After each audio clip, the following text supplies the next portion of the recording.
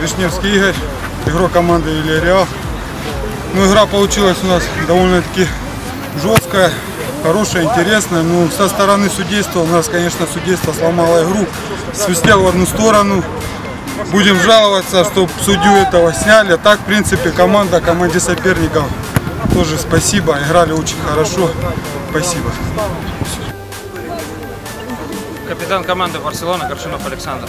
Ну что, держали победу, волевую, трудную, 3-2. В основном, конечно, было тяжело играть в центре поля, соперник не давал играть, особенно во втором тайме. Но я скажу так, очень сыграло сильно удаление. Нас удалили игрока, играли в меньшинстве почти весь второй тайм.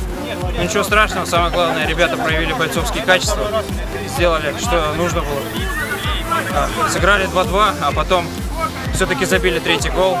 Здорово, ребята, молодцы, всем спасибо, за это можно давать звание Героя России, вот серьезно, со всей ответственности заявляю, здорово, бойцы, просто парни, молодцы, спасибо еще раз и низкий поклон моей команде. Сопернику тоже спасибо, хорошо довольно играл, вылез с 2-0, большое им спасибо, ну, мы оказались немного сильнее или немного волевее, хоть и на одного игрока меньше. С судейством согласен сегодня? Я думаю, что а, было пару ошибок, но я думаю, что они были в одну и в другую сторону. Поэтому в целом можно сказать, что судейство было удовлетворительным. Спасибо.